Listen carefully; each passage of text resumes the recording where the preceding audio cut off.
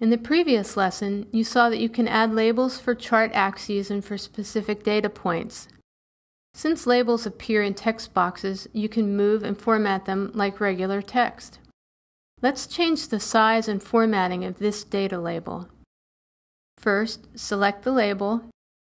You can select the label by clicking it directly in the chart, or here on the Format tab under Current Selection. You can select any chart element from this pop-up menu. Next, click Format Selection and change the font size to 14 and make the text bold. Now, drag the label so it appears directly over the column.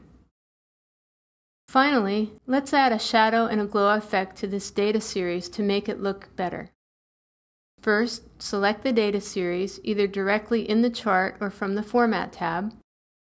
Again, handles appear around the column to indicate that the series is selected.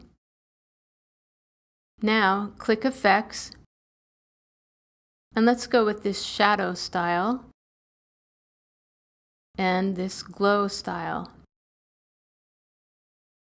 These are two simple examples, but you can use the same approach to format all data labels and chart elements.